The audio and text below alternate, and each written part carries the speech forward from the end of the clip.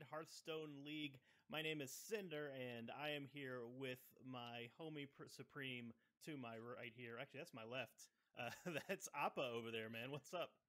Homie Supreme. I like it. That's that's now my new title for every cast we do. Absolutely. Together. I am Cinder Sendant, joined by Homie Supreme Appa. Get that battle tag name change in as quick as you can. Oh my goodness! But that would mess with my branding for my uh, emotes and stuff. Oh yeah, I guess sure. yeah we can't get rid of the, we can't get rid of the Appa. You're you're right about that. But uh, we are bringing you tonight uh, the one of the first matches for season two of United Hearthstone League.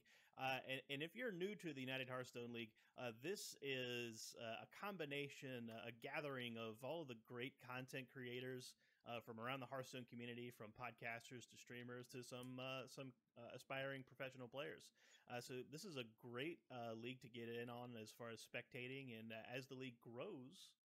more people will get involved, and you want to be behind that. But for tonight, we have from 1600 Dust, Chris Plummer, Rock Base will be matching off against one of the newest streamers in the Hearthstone scene, Mike Lowe, who is, as of today, a Twitch affiliate. So congrats, Mike. Uh, they're going to be facing off uh, for week one. And Appa, I think you have the lineups in front of you. What are we looking at tonight? Yeah, so Mike Lowe is bringing two very standard decks, or at least as standard as you can get for the first week of an expansion. Uh, two of the generally accepted most powerful decks mm-hmm. in Cubelock and Spiteful Druid. But he's also bringing uh, a class with a twist. He's bringing Hunter, but he's not bringing Baku Hunter, which I think we all kind of accept as one of the stronger aggro decks in the format. He's bringing Secret Hunter. Ooh, I like not it. Bringing it's not all spells. Okay. It it uh packs copies of the tracker.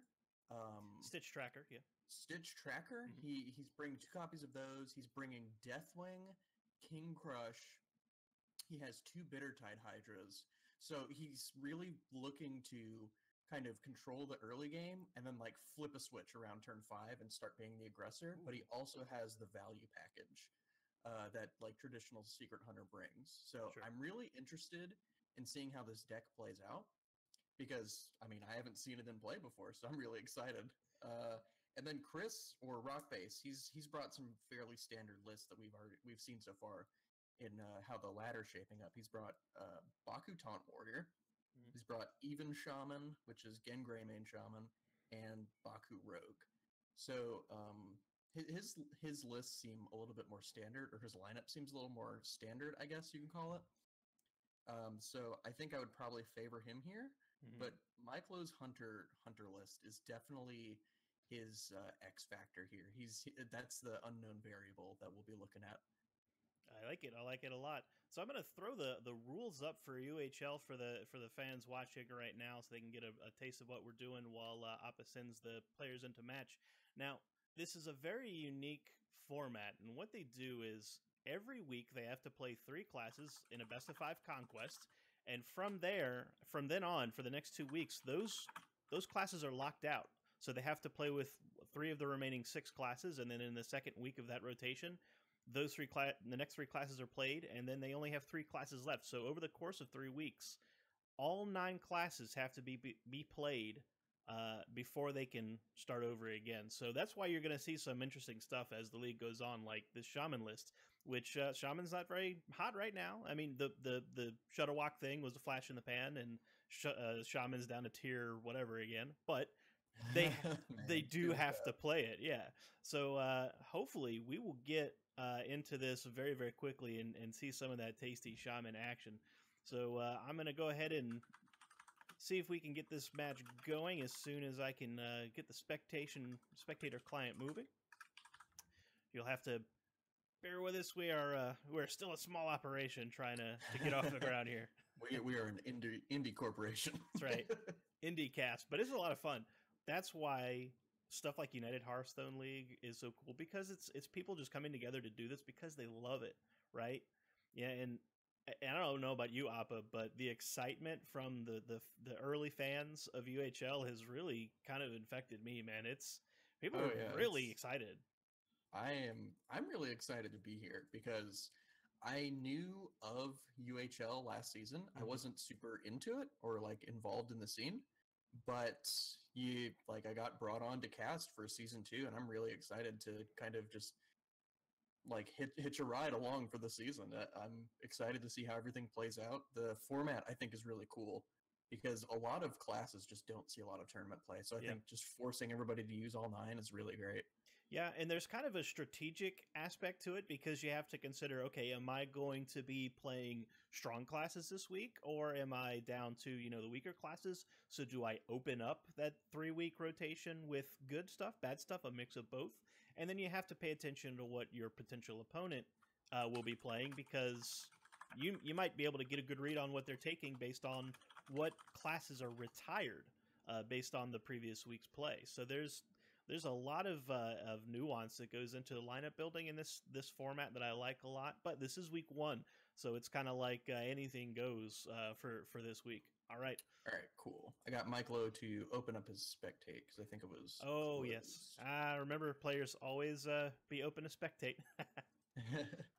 All right. We're heading in, and I see uh, Druid and Rogue. And as soon as I get uh, RockBass up on the other side of the screen, we're going to enter the match screen. All right, here we go. Switching now.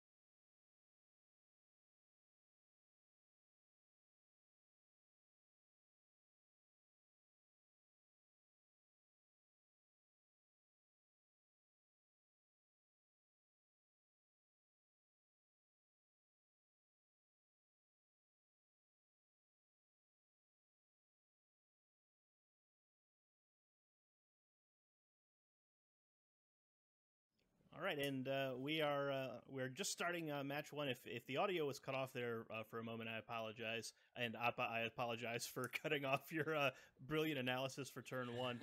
but uh, both of these players off to what I would say are, are decent hands to start with. RockBass showing that Leeroy early on in a mid game swing with Vilespine Slayers, but I would say good starts for both of these players. Yeah, I think Mike Lowe has definitely picked up one of his most important cards in Greedy Sprite because it's just uh, a wild growth that allows you to contest the board at the same time. But he's really going to want to pick up a Spiteful uh, Summoner at some point here because he does start getting outclassed pretty quickly by Rogue because of the amount of pressure that they can put on. Mm-hmm. And his hand is fairly low impact.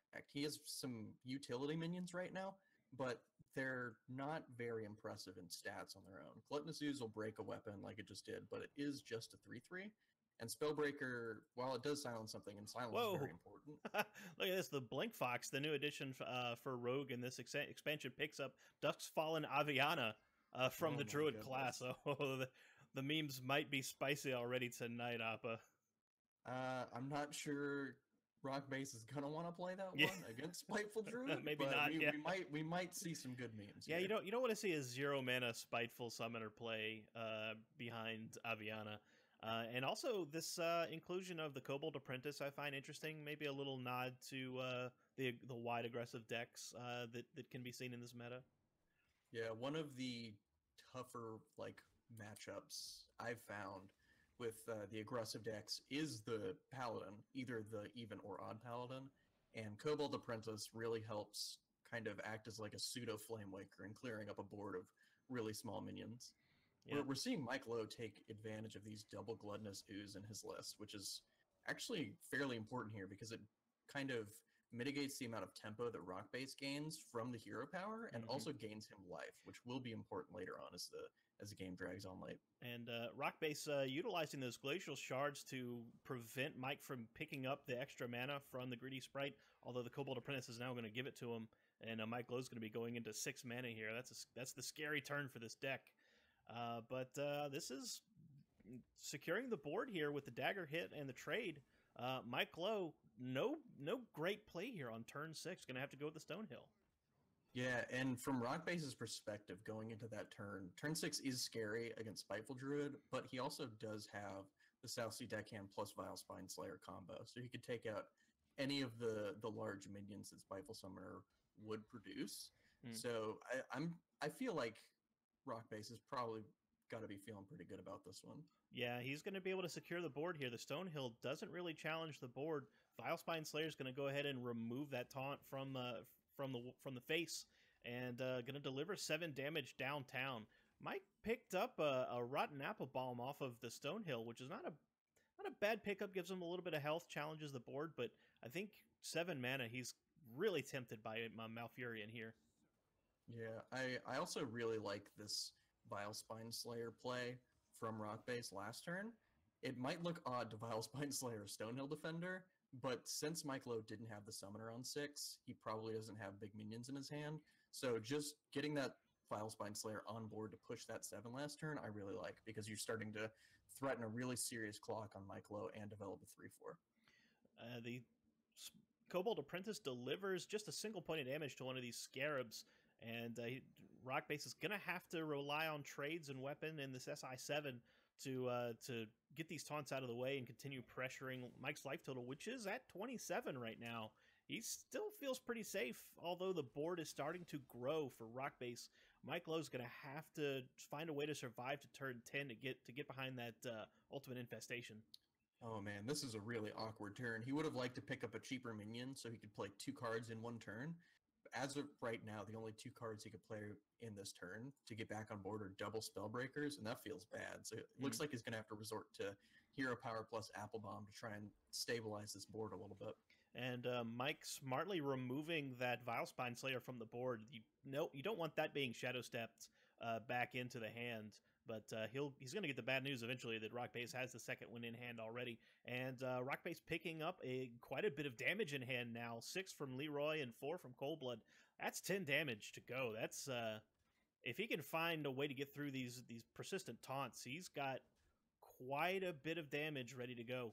And, yeah, uh, the second RockBass smells weakness, Mike Lowe is going to get hit really hard. and our, our good friends are letting us know uh, uh, past the five minute delay that we lost our mics. Yes, m- much appreciated, friends. Uh, we, we it is under control though, as, as you will find out in five minutes. Uh, so, uh, Mike Lowe having the board cleared and is going to have to resort again to the hero power, uh, plus a fairly weak play, the Saronite Chain Gang, to to clean up the board. Although this does challenge what's remaining of RockBass's board. Ooh, and an Iron Ironbeak Owl getting pulled in to uh, possibly silence a taunt as well. So this game has taken a very interesting turn. Earlier, about like three or four turns ago, we saw RockBass just completely dominate the board. But right now, his hand is full of just a Vile Spine, this Ironbeak Owl, and then Fluff.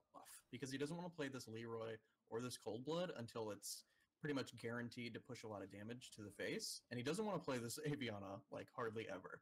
So he's working off of two fairly situational cards in the Leeroy and Coldblood. So Mike Lowe might be able to stabilize this game with this Ultimate Infestation on this Vile Spine Slayer right here. It's going to gain him five, draw him five cards that he can use for uh, resources to swing him back into this game, and also present a 5 5, which is important for contesting the board. And at this point, Mike Lowe actually has the board back, even though it looked like RockBass was in a really good spot to start really pushing damage to end this game a few turns ago. Yeah, Mike now sitting on a full grip uh, is now out of lethal range uh, from RockBass's hand, so he will live to fight for the board. Spiteful Summoner getting picked up off of the Ultimate Infestation. That's a huge, huge pickup for Mike Lowe. He's been needing that all game. Uh, that's the power play uh, for this deck, with um, the 10 mana minion pool being dwindled down to just five options uh, with the rotation. Spiteful Summoner in Druid is guaranteed to get, I believe, at least an 8 8, if not a 12 12 from Tyrantus. It's a 7 14 and Oh, that's right. Yeah, the Ultrasaur, of course. Yeah, the the all Ultrasaur. This this game really has taken such an interesting turn. I'm kind of blown away by this it's it's like I don't disagree with RockBass's play in like running out. Oh my goodness! Oh my gosh, Aviana memes are coming in. What we were saying? Oh, oh no, picks up the other. Sp- the second spiteful summoner pick gets picked up off the top of the deck. Mike's going to be able to play them both here. But that's oh my but goodness. that assumes that he survives whatever potential burst play that RockBass has out of his hand. So Mike has to consider this carefully. He can't be too too greedy. First spiteful coming down, guaranteed we to need, get we it. We need a drum roll here. and he gets Oh, Deathwing for Deathwing. 12 12. Deathwing means business right here. Now, I don't think any of the potential minions have taunts. no, none of the ten drops have taunt. So he does still have to address the board. Second Yes. Spiteful Summoner comes down. And Mike knows that both of the. Uh, it's an 8 8 from Emeriss. Uh, Mike knows that both of the Vile Spine Slayers have been played. There's no hard removal left for RockBass. At least he doesn't hope so. But he still has Yeah, to he- protect that he- face. He yeah, he needs to get not too. He doesn't need to get uh, too cute here. So it's good that he's armoring up here to just kind of close the only out that Mm. RockBass has in this game, which is a ton of burst damage out of nowhere. And sitting at 19 uh, against how much damage does he have? He has 10 from Leeroy, 15, 16. So it looks like he's he'll he'll be able to close this one out. Yeah, he would be. He, let, let's see. What is that again? It's 4, 6, 12, 16. Yeah. So he's not quite there yet, but if if he had a second cold blood in hands, another charge minion, this would be game despite that amazing turn last turn. And with RockBass having almost nothing in hand now, just three cards, that Aviana is not that effective. Uh, RockBass, he sees that there is no out here, there's no way to stop this damage from coming in, goes ahead and bumps into the Death Wing to uh, start the, the end of the game from going, and that's going to bring Mike the first win of the match. He's going to go up 1 0 in this series. Man, that Aviana, I can't say that I blame RockBass. He really had nothing left to play in his hand. May as well, you know, swing for the fences, right? Yeah, that was. Um, I, I really like the line that RockBass took in recognizing that he really needed to start pushing damage with the Vile Spine Slayers, but it, it was kind of punishing that Mike Lowe got to use his both of his spitefuls right after he used both of the uh, Vile Spine Slayers, so he he didn't have any hard removal for the the giant minions. But I, I like the line that he took in recognizing that needed to close this game out because his hand was it didn't have a lot of value and you really needed to maximize his hero power and the Leeroy and the Cold Blood. And I like the line he took, but it just didn't end up panning out for him. Not at all. But uh, we're only just getting started here, folks. Uh, Rock still has uh, potentially four more games to try and uh, take the series away. And uh, as we're getting ready for the second match, I want to let everybody out there watching know that uh, United Hearthstone League is a patron supported enterprise. This is starting from zero and being built from the ground up by some very amazing people who are really committed to bringing the community together to have a lot of fun uh, with, with a format like this. And if you wanted to be one of those people uh, on the bottom floor uh, of this fantastic organization via Patreon, you can do that. Go to patreon.com slash UnitedHS League to go ahead and find out how you can become a supporter. And there already are some. In fact, one of them, uh, one of the earliest adopters, Zeroshio from the Hero Power podcast, has kindly uh, donated a little bit of his scratch to help uh, this league to get off the ground. So join him and the others that have uh, con- contributed to the Patreon, patreon.com slash UnitedHS League. All right, Appa, let's get the second match going. All right. So Mike has uh, retired the druid. That leaves the hunter and the warlock. Uh, Chris still has to get a win with all three of these, including that shaman. Uh, so we're going to see exactly how well this goes. Uh, how do you think uh, this looks for Mike right now, sitting on a single win? Uh, I think it looks fairly good for him. He has the Cubelock, which can pick up a, a game win pretty much anywhere against Right. any of these decks. The the thing is, it's going to boil down to the Secret Hunter, and if it can find a win against uh, any of these decks, uh, against Baku Rogue, it's probably unfavored because Yeah. Baku Rogue just puts on so much pressure. I'm not sure how the Even Shaman matchup plays, and against Taunt Warrior, I'm I don't know. It, it feels like it'll be hard to break through that giant wall of taunts.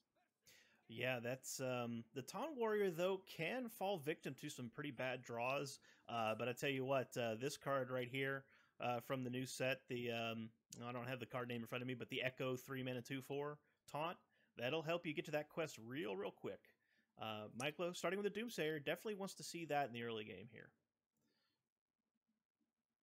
Yeah, I'm, I'm, I'm blanking on the name of this card. What is what, it? It is Phantom Militia. Yeah, that's it. I yeah, I got it. I didn't even have to pull it up. okay, um, Michael also running the Gnome-Feratu, which is super interesting. That could uh, potentially uh, cause some havoc uh, for RockBass if he hits uh, an important card. But uh, Taunt Warrior not really reliant on combos. It's got quite a bit of redundancy, so I think he's got uh, room to lose a couple cards off the top. Yeah, Taunt Warrior is a very straightforward but powerful game Mm. plan.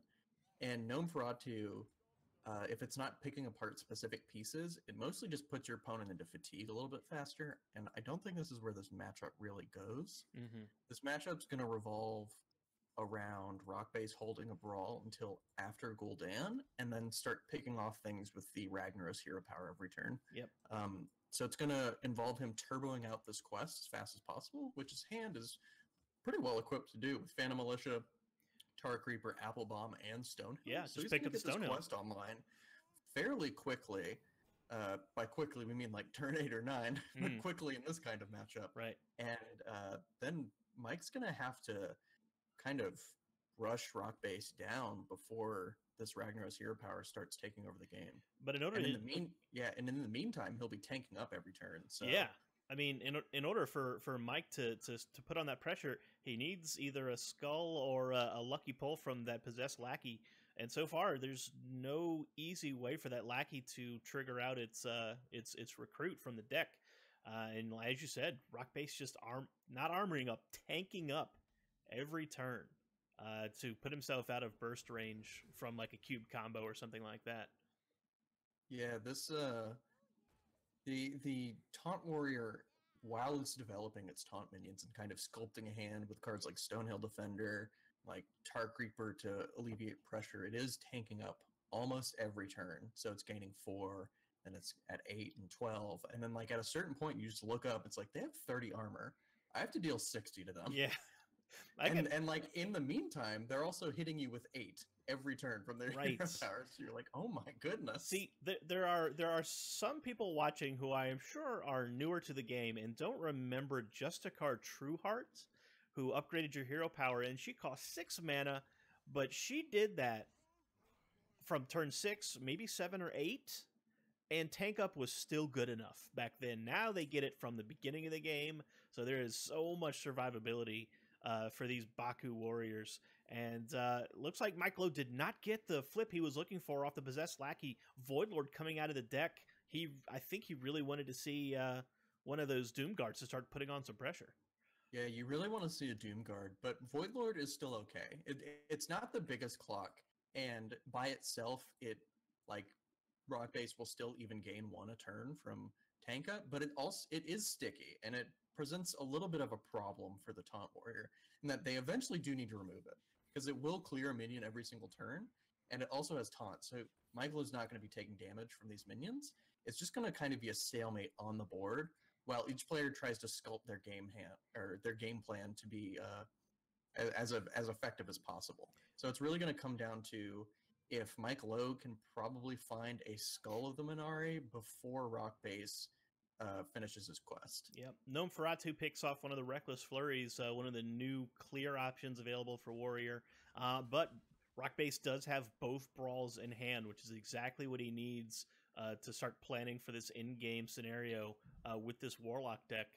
And um, also picks up a, a Shield Slam, so a little bit of hard removal as well. Uh, and he's gotten up to so far four ticks on the quests. Only needs three more taunts to be played. Could even uh, go for this humongous Tar Lord that's sitting here at seven mana if he wants to.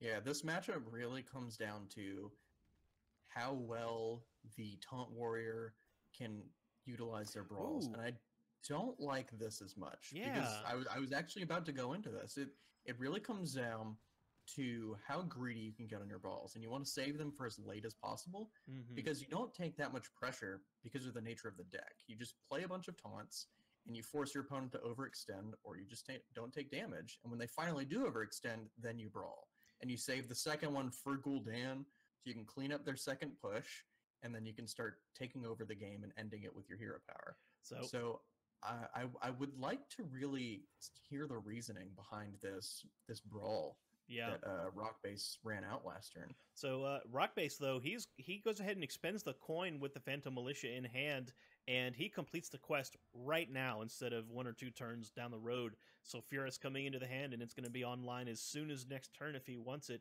Going to really start uh, pressuring Mike's uh, life total, which is already down to twenty one. Uh, Mike can play the Void Lord from hand, which he will do. Uh, but he's gonna have some work to do to, to punch through these two fours. Maybe have to rely on a board clear to do it.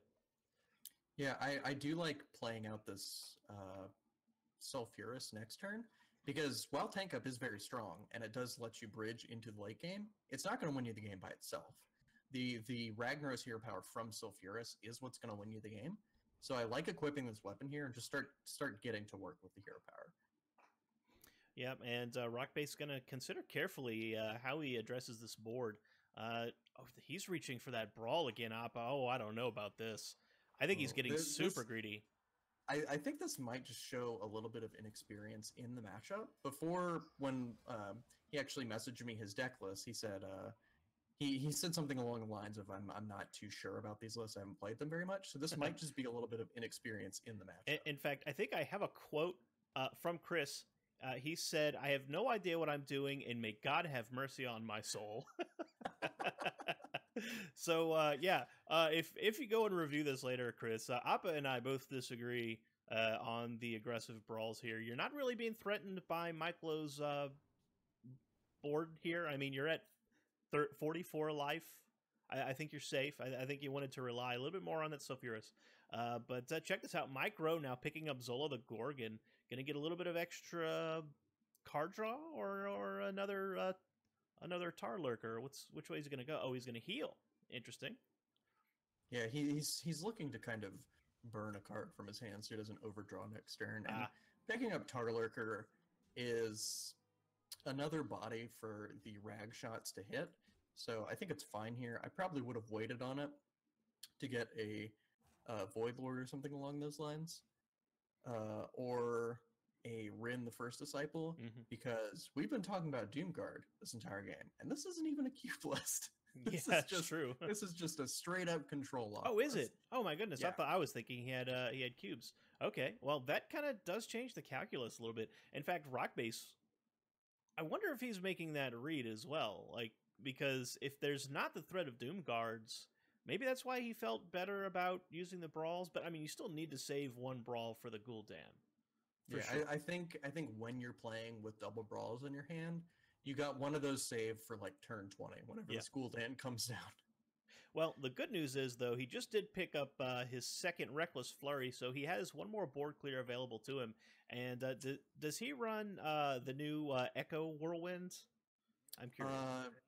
No, he can't run Warpath because Okay. it is. Oh, it's an even. That's right. It's two mana. Okay. Well, uh, the s- so uh, something I didn't actually consider is the Reckless Flurries in the list because they do serve as another board clear Mhm, after Gul'dan, but he does have to have the armor for it, so they're a little more situational. true. but they do they can serve the same kind of purpose in in a in a pinch. Yeah, and and that's another thing too. Uh, I believe RockBass has expended both of his shield blocks, which are an important combo card with the Reckless Flurry because it becomes a five mana uh, AOE uh, with uh, with those two cards in combination for six mana.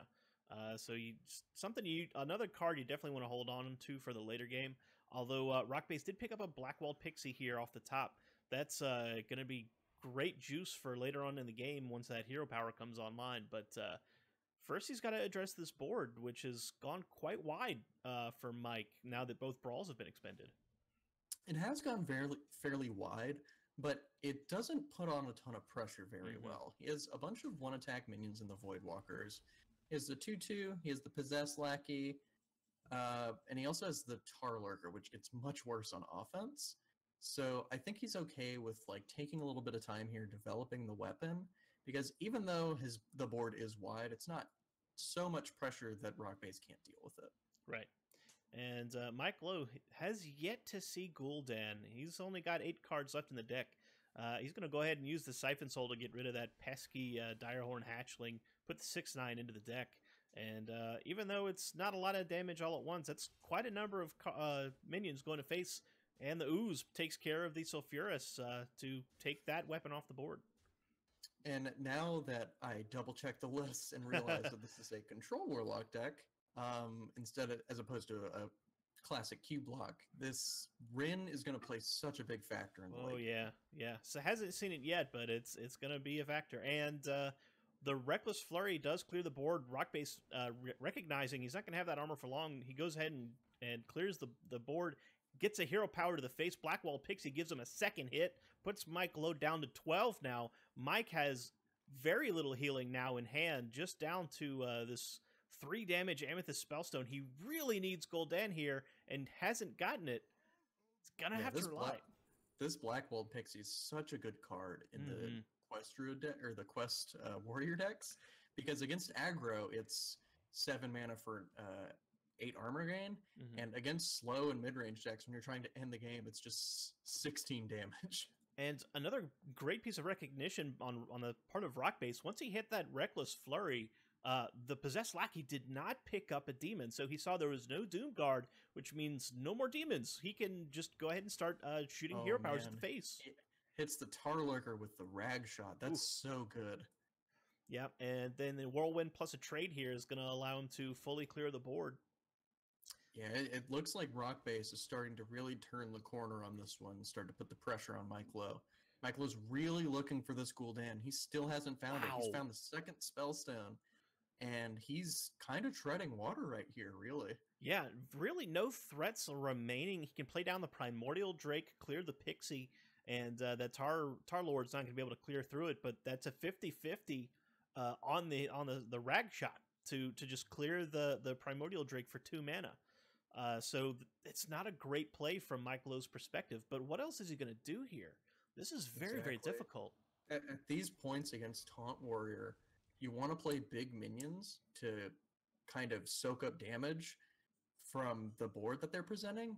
But the big minions can also die to these rag shots, There which it is just like such a loss of value. So you really want to get this wide board, which is why Gul'dan's so important.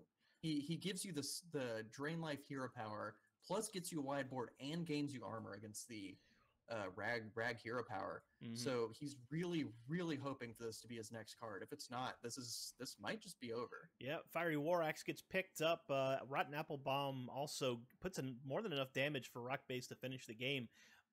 I- the Lich King is picked up. That's not cool, Dan. It will soak up a little bit of damage, but I think that is just lethal if he makes that play, Appa, because there's eight damage to put into the Lich King, and then the Rag Shot can go face or vice versa. I think that's it. He has a way to not die if he double spellstones the Applebaum. It's it feels terrible, but you gain six from that. You go up to fourteen, and then RockBass only has twelve next turn, and it gives you another turn to find Gul'dan. if Mhm. he doesn't find any more damage. So I think that's the only real line here. Because if he plays this Lich King, it either dies to the rag shot or Oh, oh, okay. Mike's just going to give it up. He may have not seen the spellstone line for for the extra draw step. But Well- e- either way, that those were slim odds for Mike Lowe, and RockBass picks up that one with Taunt Warrior. Yeah, that's a that is a, a, a great that's a difficult matchup to play as well. I think, and we gave uh, we gave Chris a little bit of heat for the for the greedy brawls, but it worked out in his favor once he made the read that there were no doom guards in the deck. So uh, all the credit to him uh, for evening up the series here at one to one. Now we're getting ready to jump into uh, into game three, uh, but we want to tell you that there's one there are matches going on all week, uh, and I do not have the match calendar in front of me, but I will grab it. Uh, but you, you can uh, it, right here on this channel on uh, uh, United H United Hearthstone League on Twitch. Uh, you can find matches from all 16 of these great competitors, uh, usually pretty much any day of the week, and they're almost always cast uh, by great people like Appa and Wicked Good and Bodicus and all the, the really talented uh, voice talents from uh, Team Swagoy like Brasky and Steffi and Tom Locke.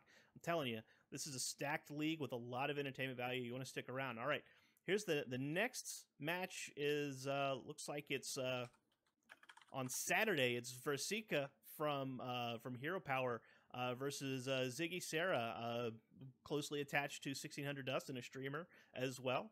And uh, yeah, that's at 8 p.m. Uh, Central Time, just for your local time zone. And that's going to be right here on this Twitch channel. So follow this channel and get notified when these matches go live. You definitely want to stick around for those. So, uh, Appa, go ahead and tell them to get started, and then uh, let's talk about the remainder of this match. It's down to a best of three. Uh, we have the Druid still from Mike, the Spiteful Druid, and the Secret Hunter uh, versus uh, Chris's uh, even, or excuse me, Odd Rogue and that Even Shaman. What do you think? Well, the druid actually got retired, so we still Oh, have did the? Cubelock. Oh, I'm sorry. Secret It's the that's right. It's the Warlock that hasn't won. Yeah, I'm so used to just Warlock just winning all the time. You know, yeah, you just like queue I- up a warlock, and it's like, okay, that one's done. Okay. Let's go. Through, let's go the rest of the. is of is the- Warlock in the lineup? Are we on game three? Okay, Warlock must have won. No, it didn't. That's right. Chris did a great job winning that match with the uh, with the uh, the control warrior, the uh, taunt warrior. Excuse me. Okay, match three, game three coming up. We're gonna see the Warlock versus the Shaman. All right, I'm really interested to see this Shaman. Appa, this is uh, Shaman. I mean, everybody got excited about that Shudderwock OTK. Turns out it wasn't that good. Uh, yeah, 40 45% win rate but some promise being shown by all those juicy keywords along with like countess ashmore and these corpse takers and this little guy Yeah. right here merc spark eel two mana two three deal Mark two Spark Eel is really one of the reasons to play this again, Greymane Shaman, hmm because although it doesn't deal three damage, it is very similar to Medivh's Valet, except you don't need setup. You just play it on turn two, and it just pings something for two, and that's so powerful.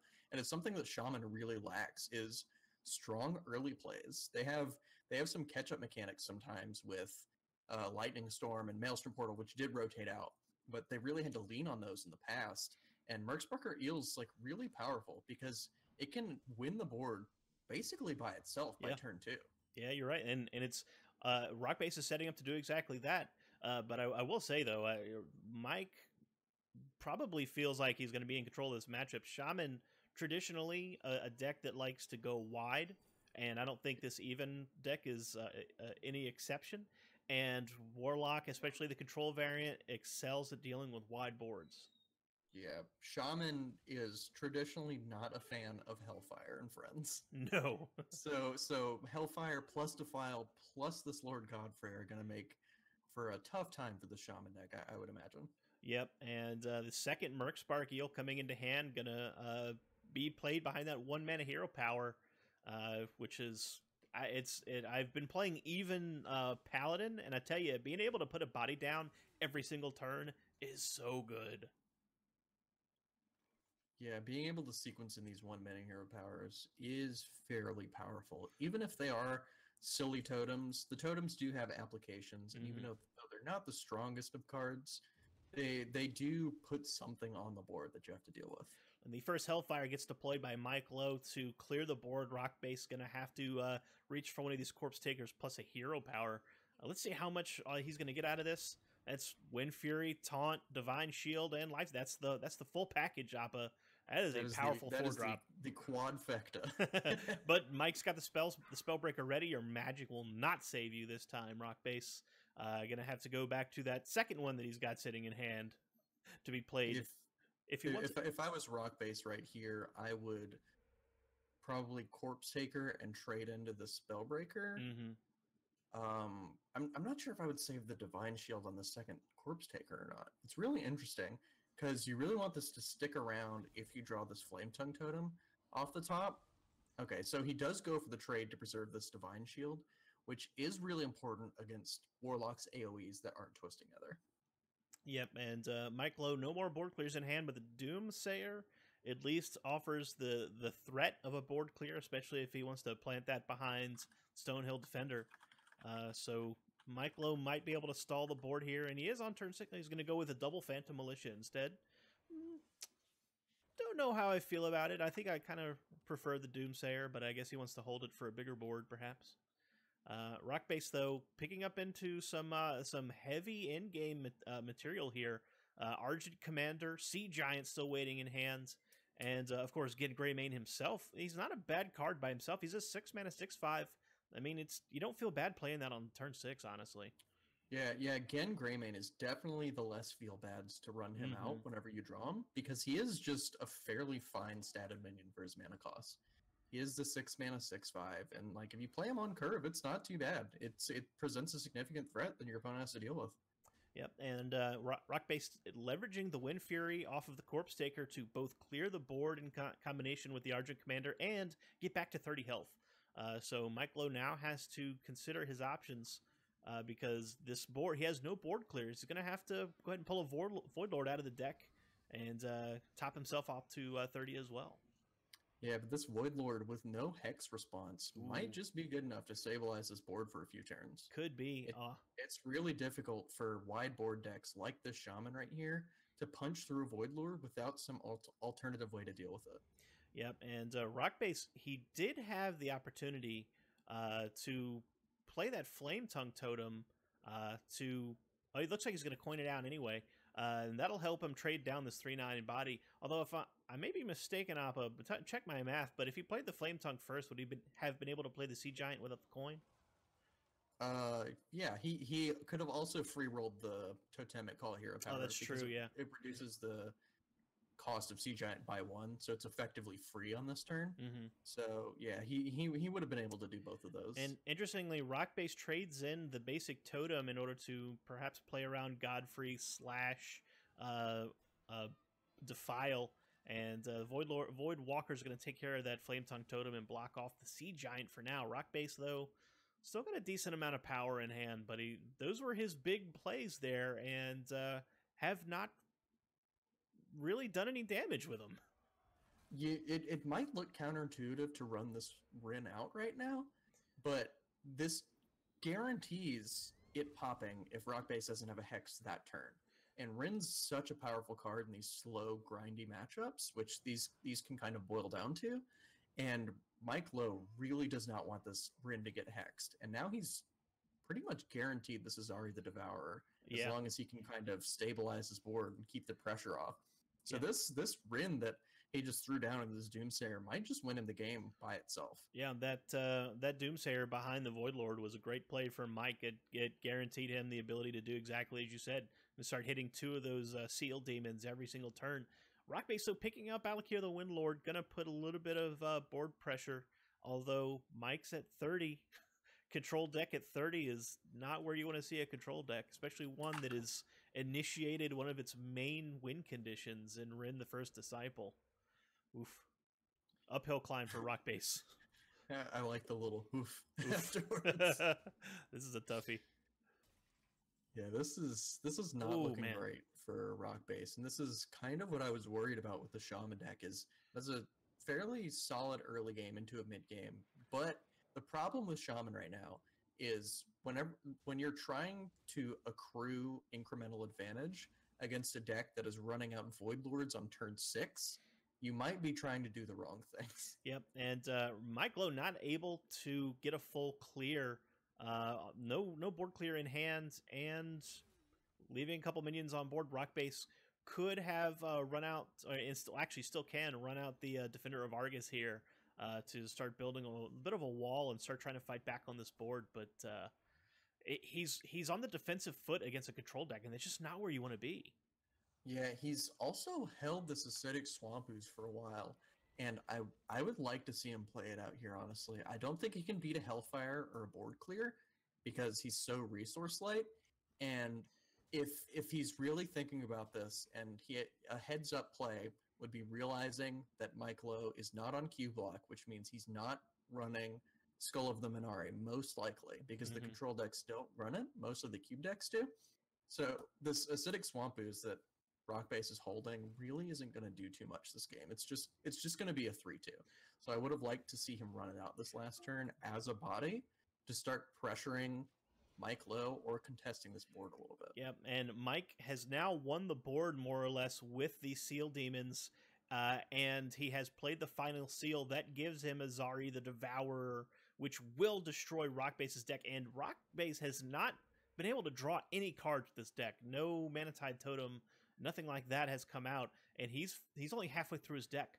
Fourteen cards burned is is gonna be the beginning of the end for RockBass with only three cards left in hand. Yeah, this is this is another weakness that I see in this even shaman deck is that it has no card draw.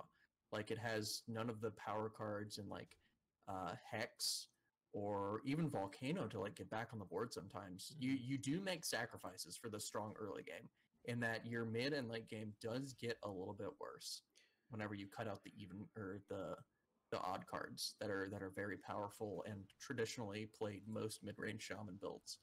And this Azari is going to come down, and all all RockBass has to work with is this one one totem, the stone claw totem, this two three Defender of Argus, again Greymane, an Acidic Swamp Ooze, and a Stormforged Axe And against a hand with Lich King, Siphon Soul, Spellstone, Void Lord, and 14 cards in the deck.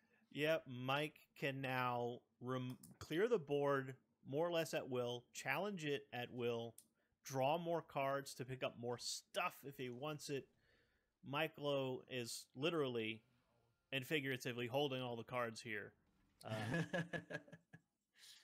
oh, even a twisting nether to add insult to injury. yeah, I, I I would not be surprised to see Mike Lowe siphon soul the uh, the Stoneclaw totem, but Just to send a message. right.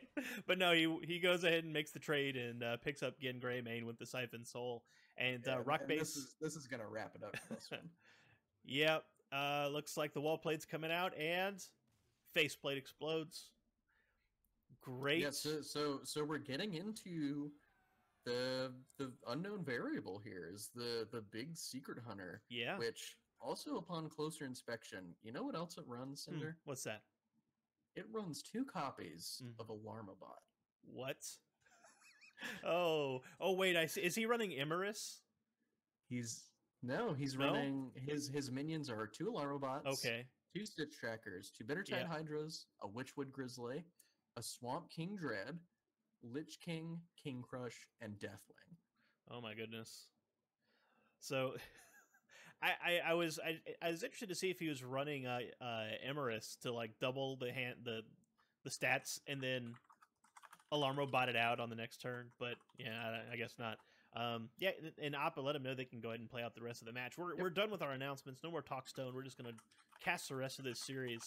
Uh, Alarm-o-Bot though, I don't know how I feel about that. That's it's very cheeky, but it's it's never really functioned as a card because you can't keep it from being dealt with on the board, right? Like it's it's a zero three, very easy to trade, very easy to remove. It's at that uh, that three health breakpoint. It's, it's it's a very fragile but very powerful card. yeah, And, ac- and most of the time when you see it, it it does look like a meme. Yeah. Because it's a meme, but it whenever it triggers and your opponent pulls out something really big, you're like, oh my goodness. Mhm. Well, I tell you what, Mike needs to be the defender here in this in this matchup against this uh, this odd rogue, and double explosive trap plus a spellstone is about as good as he can he wants it to be. quite Yeah, honestly, I think this is about as good as you're getting from Yeah. my close perspective. uh, Um, he he might want a mulligan this spellstone. oh, I don't know about that. I'm, I'm saying might. I'm, I'm, I'm Okay, giving a little bit of consideration to maybe mulliganing to like look for a freezing trap or a Mhm. wandering monster against something like a hench clan thug. But then again, like the spellstone is very powerful, so I I, I think it's a little too risky to mulligan this looking for uh, like those two specific cards. Yeah, it's and you know I Mike.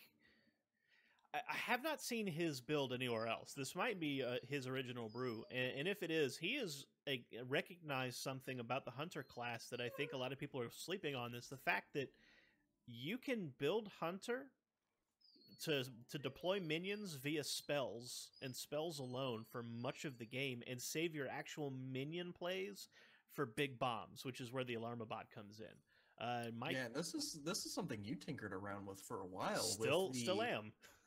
Yeah, with the recruit hunter decks with King Krush and the the big dinosaurs at the top Yep. end, right? Yeah, in fact, a- as of right now, that deck can OTK on turn seven.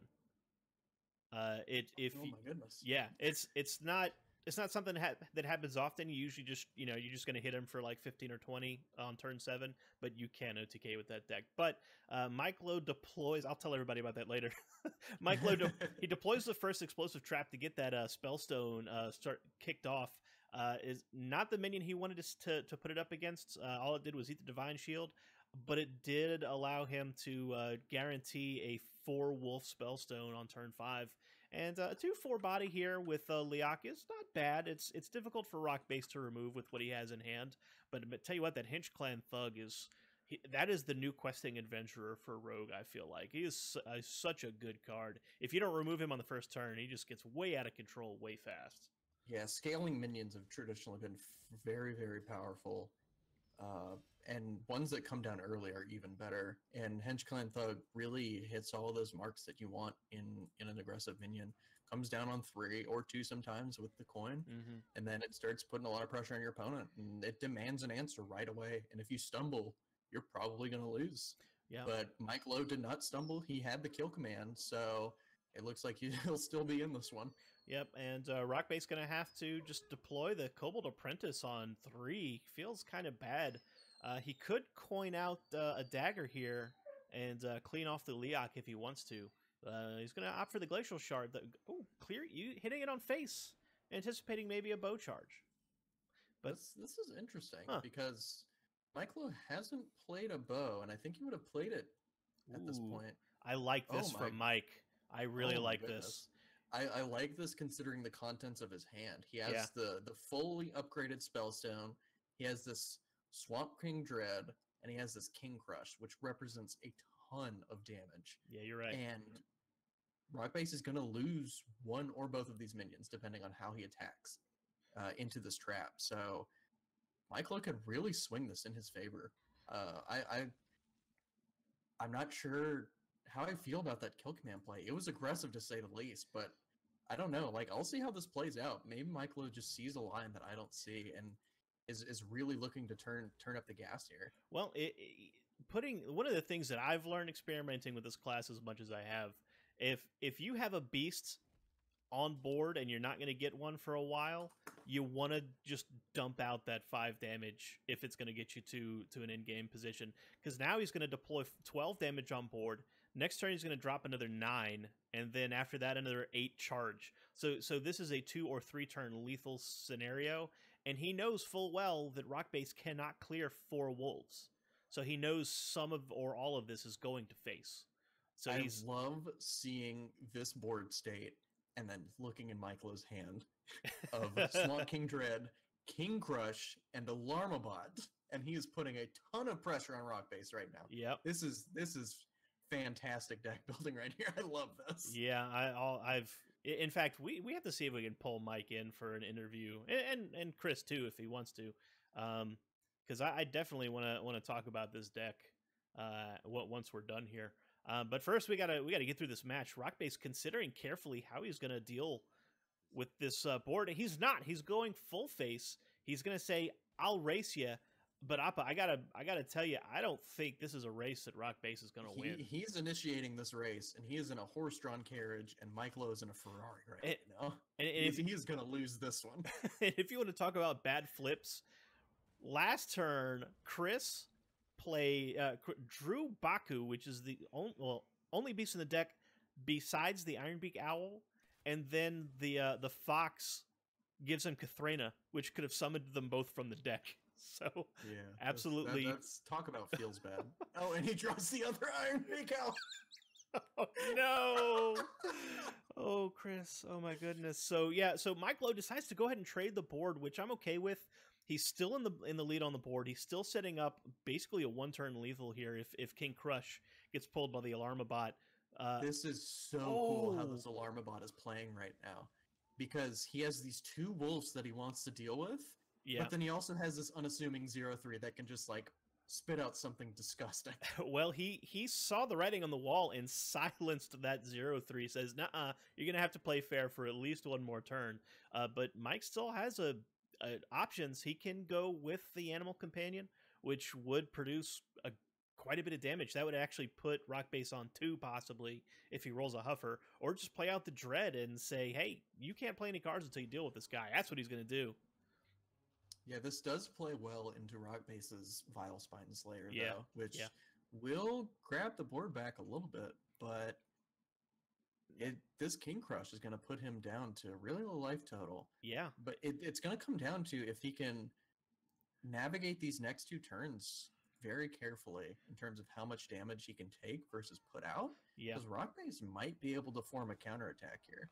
Yeah, he- absolutely has to address the both of these beasts, which he does, uh, and, and that does get him back on the board.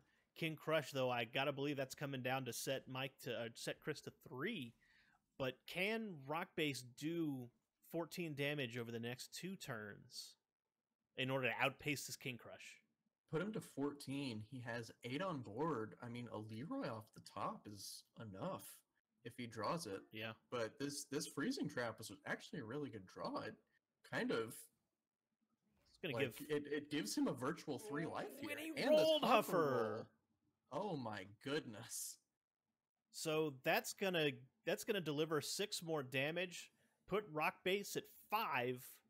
Freezing trap's gonna protect the hand, uh, protect the face from three damage, but it does put a vile spine back in RockBass's hand. But at this point, it doesn't matter because and this should be it.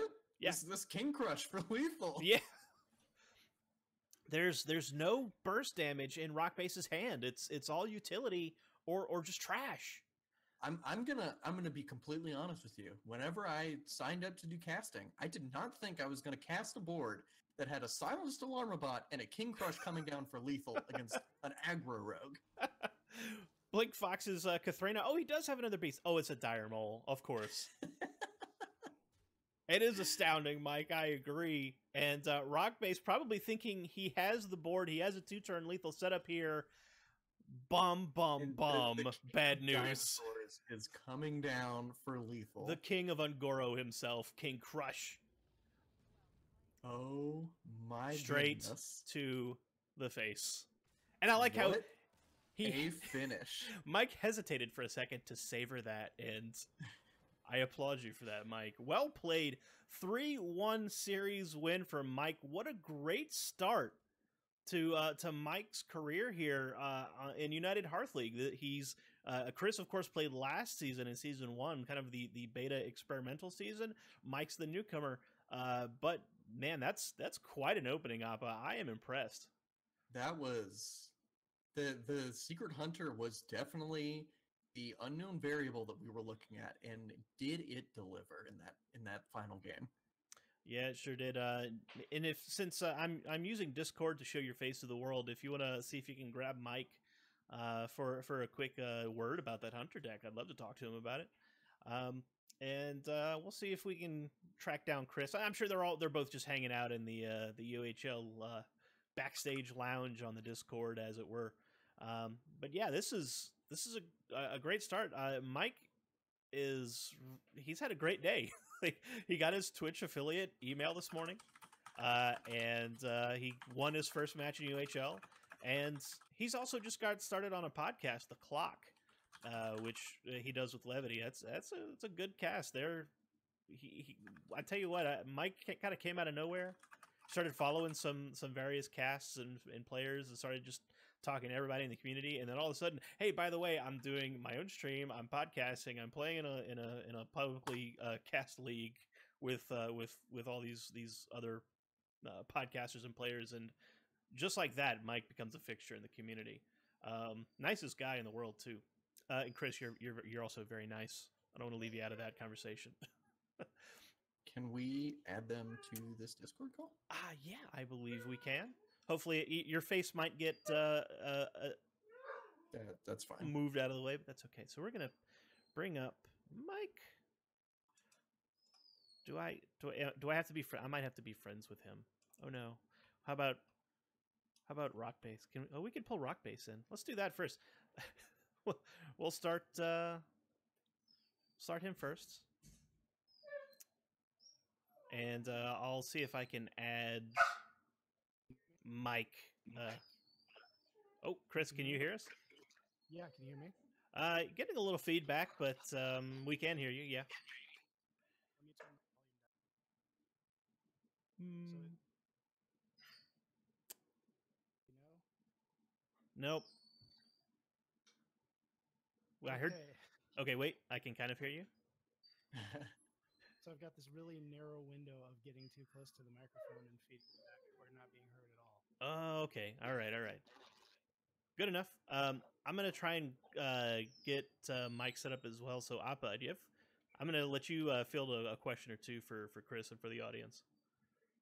Uh, yeah. So in the Taunt Warrior versus Cubelock uh, game, we we were kind of talking about how usually you want to save one of the brawls for the Gul'dan turn, and you were using them a little more aggressively. We we were wondering if that was a little bit of matchup inexperience, or if you had uh, a plan in mind for kind of rushing the quest out and clearing the board as early as possible. So, um, what what were kind of your thoughts whenever you were using the brawl so early? My thought was, oh crap, he didn't queue into Hunter like I was hoping. he. Fair enough. so um, it was a little bit of an experience. Um, I, I Warrior was my hardest decision um, Mhm.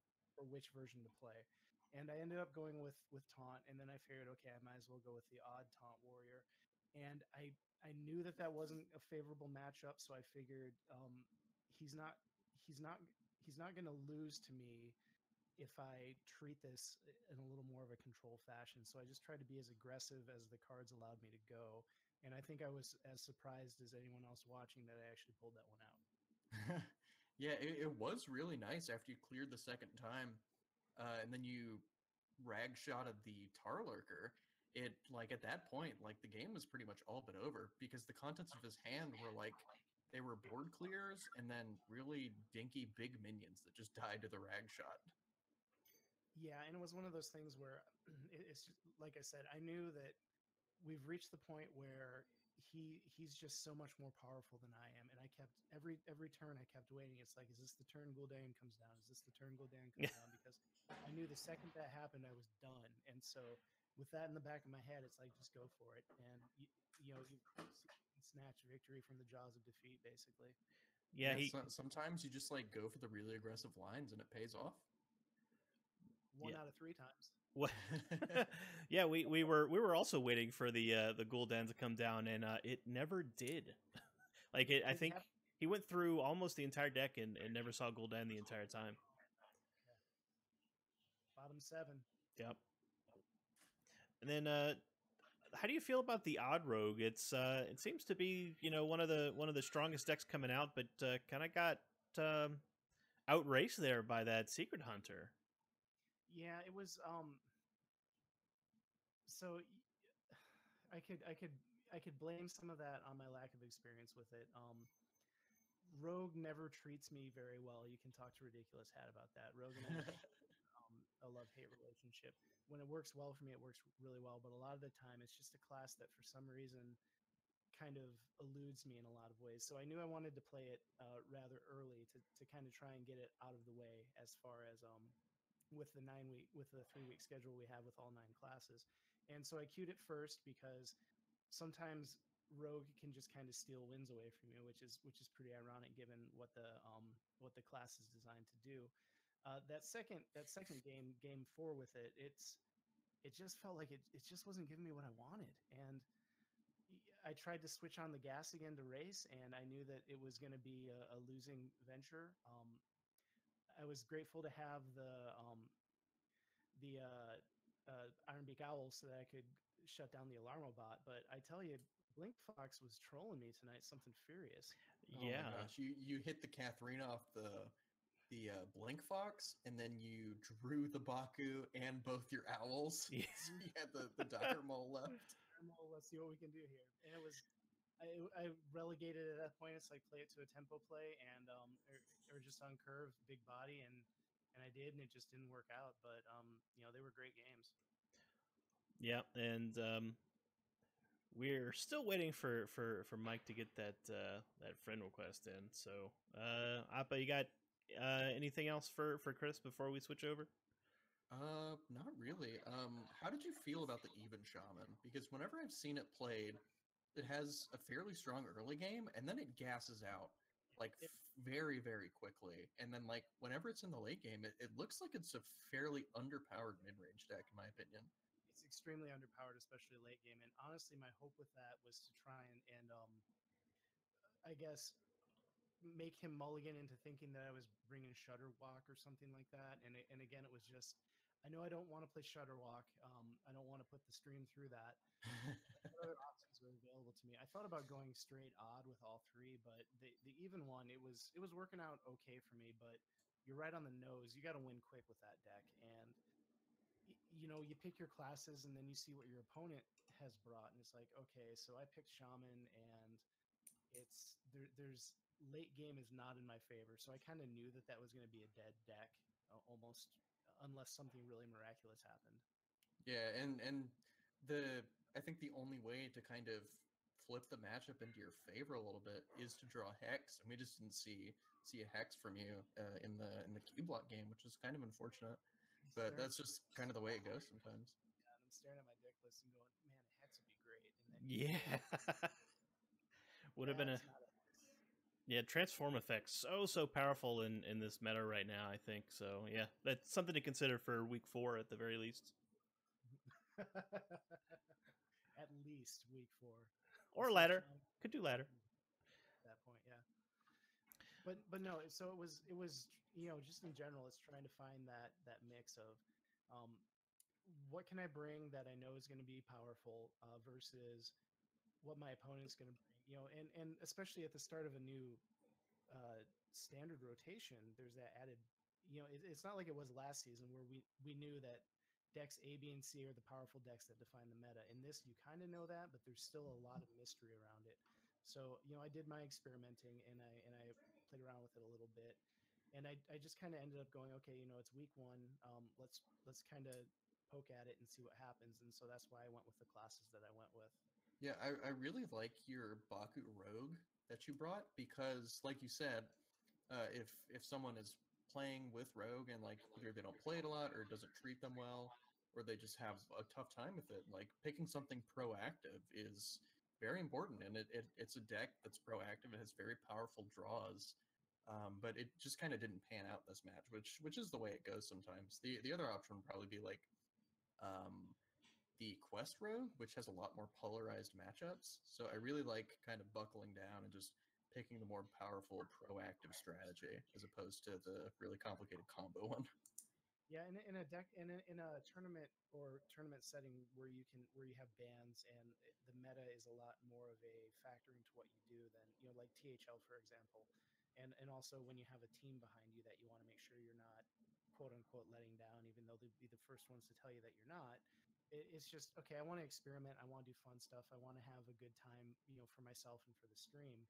And you know, basically the only thing I did that was off, you know, off of the list that I found and kind of I made sure I tweaked them all so that I was I was being real conscientious of the fact that I want weapon destruction and I want silence effects. So you know the the tempo rogue, I made sure that I had the two Ironbeak owls in there, and hmm I threw in um, Harrison Jones. It's just okay, and then it ended up I, I didn't even see it. He didn't even play a weapon with his hunter build, and I don't know if he didn't draw one or if he didn't have him in his deck list. But you know that was really kind of shocking to me too. To you know I kept thinking, okay, this is this is the bow. It's not the bow. This is Candleshot. And there's no Candleshot. So, so yeah, it's just one of those really interesting things that sometimes happens when you play Hearthstone. Yep. The uh, the cards definitely worked in Mike's favor in uh, that game four. And uh, Chris, I want to thank you for for jumping on to talk with us. Uh, good luck in uh, future weeks. Uh, hope to see you again real soon on stream.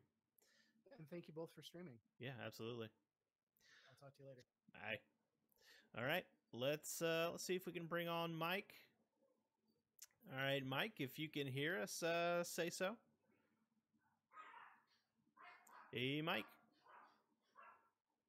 It's like being in radio again. Mike Lowe, your number is called. Hey, how's it going, man? There he is. What's up, Mike? there he is. So, uh, How's it going? First of all, congratulations! You won your uh, first match in week one of, of UHL season two Uh, very well done. Uh, how's it feel to uh, to come off of a three one uh, for your for your first match? Uh, it feels pretty good. Um, uh, the first game, I was surprised he played the uh, the Dusk Fallen Aviana. Mm-hmm. So I was like, all right, these next two games must be difficult if he's throwing me this win. Like that was crazy. I got the uh, two spitefuls. right. That was insane. Yeah, he he was. I- I- If you go back and watch the replay, I think you'll see he's kind of left with no options and hoping for the best, uh, which obviously didn't work out. You drew that His- second his, his spiteful. hand was was not great at that point, and Oh, okay. put it out there. But Yeah. then the punish with the double spiteful turn was Oh man, that was insane. Oh my goodness. Yeah, so we were um, we were really super curious about um, two of your deck choices. First of all, you you went with a control variant for Warlock in a meta that is so far very strongly leaning towards cubes with uh, with Doom guards, uh, and then that Secret Hunter list, which looks like a homebrew. So first, let's talk about the control lock. What made you decide to go with control over cube? All right, so um, I didn't bring cubes because I pretty much run into it like the rest of us every day on ladder. Yeah. Um, I just kind of want to bring it different to UHL if we're gonna have you know people come watch. Um, I figured bring a different element and not have the same stuff we all see on ladder. Um, so that was the idea there, and I knew I was gonna run into uh warrior, so um, I just wanted to spread the board wide, as wide as possible. Um, without using cubes, I know cubes will accomplish that, but I um, just want to play something different. And um, I had just crafted um, what's this? What's the legendary Lord? Uh, Lord um, Godfrey? Help me out. Yeah, Lord Godfrey. Yeah. Yeah. So I, I built a list there. Um, I didn't draw as you guys saw um, the Death Knight the first time. Yeah. I'm like Wait. screaming in my living room, like, where is this card at? The, oh my goodness! Like, It's like Well, that's that that's means one of your two end games. We're waiting for it, and it just never came out. Especially with both brawls having been expended, we're just Yeah, he, Dude, wa- I he was so excited. Yeah. He was hiding in the bottom. He did not want to come out. nope. Nah, he was chilling. Man, and it's And uh, then- go ahead. Yeah, this this this hunter deck looks Okay. so sweet. yeah. All right. So this isn't my list. I got this list from my buddy uh, Truly Malice. He's a player for uh, Hooked Esports. okay. He tweeted this list um, April 13th around noontime. Mhm. Um, he was saying that uh, it's a newer list without Baku. The uh, spells, um, there's more spells. Um, he's still refining the list. The uh, spells help a lot, and he was saying that the um, Alarm Bot and the Death Knight bring matchups. Um, so the version that you guys saw, I've never actually won um, with this deck that way. That was crazy. So Nice. it took me a, lo- a, long choice to actually mulligan if I should keep those two um, secrets. Appa and I So were. If, if, if you're wondering, that that was why I was trying to decide. Oh no, we, we had that conversation when that match started. I liked I liked the two uh two flame tr- explosive traps in the spellstone. Appa was thinking maybe something else, but I don't know. That's hard to to to, to send back when you're, when you're facing off against a, uh, an aggressive rogue like that. Yeah, um, I've only played this deck like uh, 40 times, so like to me, it's Only. not that much experience. This is Malice's deck, so um, I'm glad I played it right. Um, I'm glad the um, did you guys see that with the uh, alarm bot? I had to make him choose between that and the wolves. Yep. Yeah, But uh, that, he that still was- he, he still had the silence. I was like, no, I wanted to get one of those out, man. Yeah, that was Yeah. that was going to be a guaranteed lethal if he didn't have that silence. So yeah, we we, we were definitely keyed onto that. But yeah, I want to try my best, uh, my best to bring you know some uh, new flavor to the UHL, not just bring same old meta decks, same Yeah. old ladder decks. You know what I'm saying? Yeah, we we enjoyed the heck out of it, man. So uh, you you got a sneak peek for us into week two? Maybe give us a teaser on what we can expect. Uh, I can't say anything because next week I play the league champion, so you know You're playing yeah, hat. I, Yeah, I, I got a Oh. long road here, so I got to stay focused, you know, Oh stay my humble, gosh. and just keep it moving. You know what I'm saying? Yeah, that well, well, match is gonna be fire. yeah. 'cause- well, Chris is so. Chris was not a gimme by any stretch of the imagination, man. He's very experienced. He's got a lot of Exactly. competitive exactly, play yeah. under his belt. So you're off to a good start. But we're gonna look forward to that uh, ridiculous hat versus Mike Lowe. That's gonna be that's gonna be fire. Uh, It's gonna be crazy, man. Yeah, I'm, I got I, I got to go. I got to start training now. all right, Mike. Check you later. All right, guys.